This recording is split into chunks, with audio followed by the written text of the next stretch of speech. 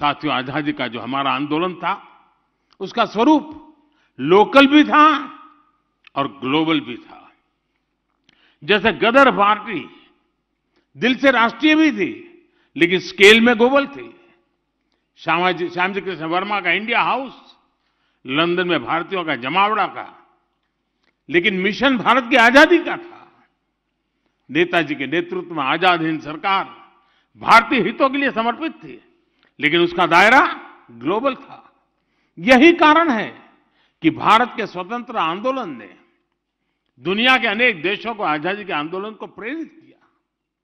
Local से global की यही भावना हमारे आत्मनिर्भर भारत अभियान की भी ताकत है।